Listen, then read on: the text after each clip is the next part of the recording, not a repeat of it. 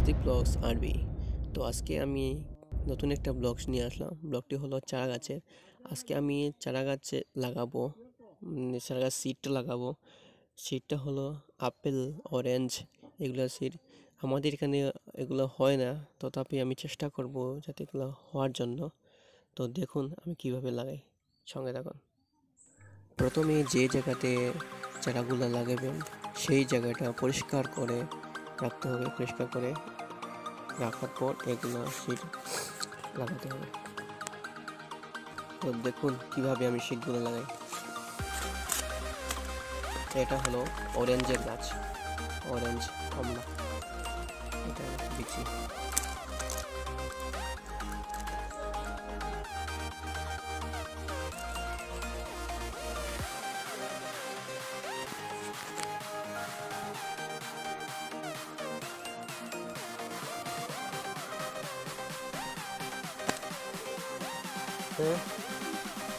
ওই।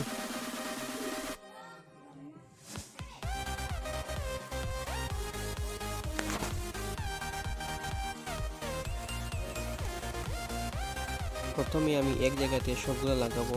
তারপর যখন বড় হয়ে যাবে তখন এখান থেকে সরিয়ে অন্য জায়গাতে নিয়ে লাগাবো।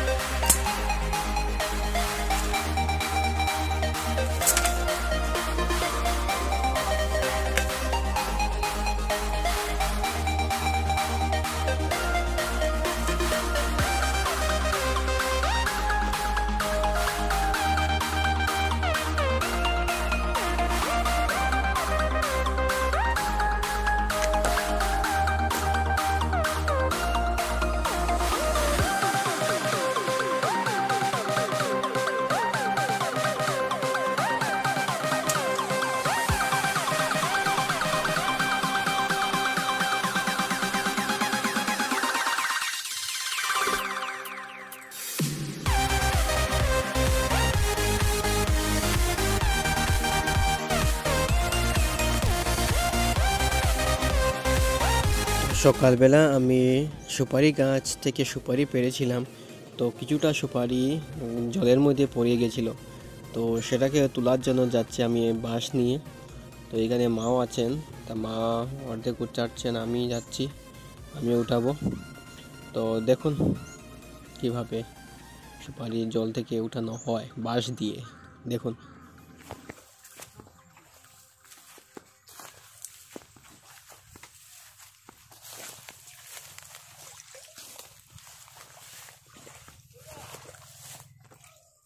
ও বা কাছে দিতে হবে, বড় বড়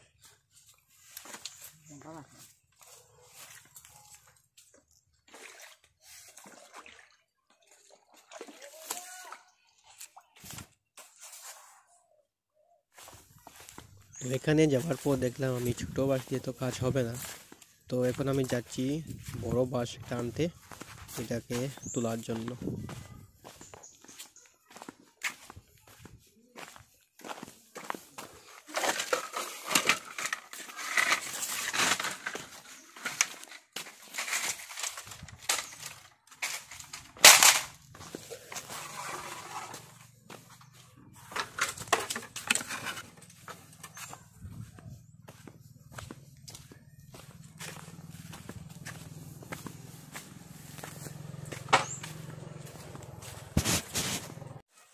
ধরে না তো হবেই জানি না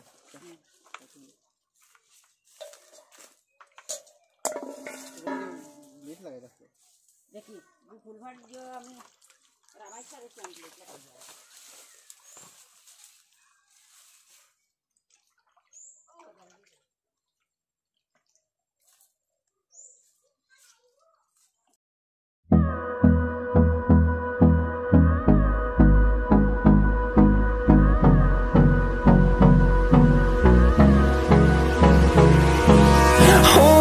close till I get up. Time is barely on our side.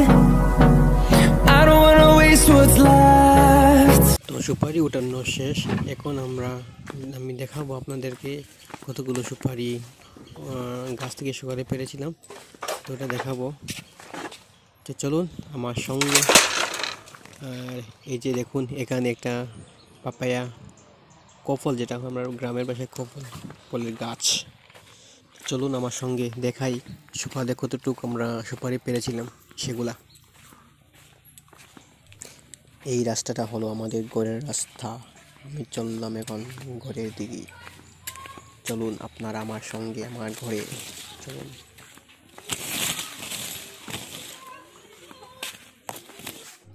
এই যে দেখুন সুপারি, যেটা আমরা সকালে গাছ থেকে পেরেছিলাম। এইটা আরও আছে ভিতরে ভিতরে গিয়ে দেখাই। এই যে আমরা আমার বাইক লক্ষ্মী ওই যে কাঁচাগুলা কাঁচা সুপারি, এই যারা সুপারি দেখুন, এটাই সুপারি। তো গাইস এটাই ছিল আমাদের গ্রামের পরিবেশের ছোট্ট একটা ব্লগ তো যদি এই গ্রামের ভিডিওটা ভালো লাগে, তো অবশ্যই চ্যানেলটি subscribe and like comment share করবেন। Thank you bye bye